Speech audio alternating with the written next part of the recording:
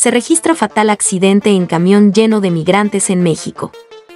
Accidente con camión de migrantes deja varios muertos y heridos en México. Autoridades dan a conocer más detalles. Al menos 18 migrantes, originarios de Venezuela y Haití, murieron y otros 27 resultaron heridos al volcar un autobús en México.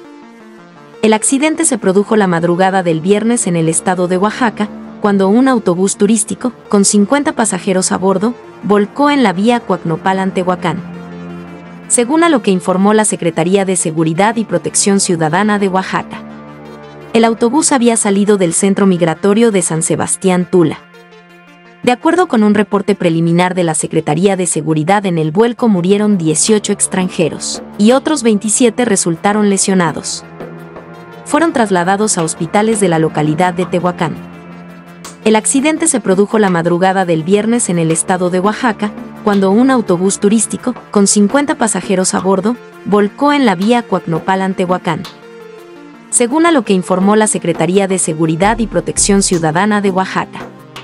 El autobús había salido del centro migratorio de San Sebastián Tula. De acuerdo con un reporte preliminar de la Secretaría de Seguridad en el vuelco murieron 18 extranjeros y otros 27 resultaron lesionados. Fueron trasladados a hospitales de la localidad de Tehuacán. El siniestro ocurrió a cinco días de otro accidente que se registró en el estado sureño de Chiapas en el que perecieron 10 migrantes cubanas al chocar un camión de carga. Entre fines de septiembre e inicios de mes fallecieron otros siete extranjeros y unos 40 resultaron heridos en diferentes accidentes de tránsito. También en otros tiroteos ocurridos en medio de un creciente flujo de migrantes que tiene saturadas a las ciudades fronterizas del sur y norte de México.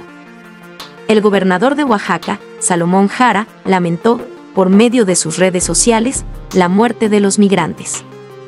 Por su parte, la Coordinación Estatal de Protección Civil, también en redes sociales, dijo que había intervenido y auxiliado ante un accidente carretero.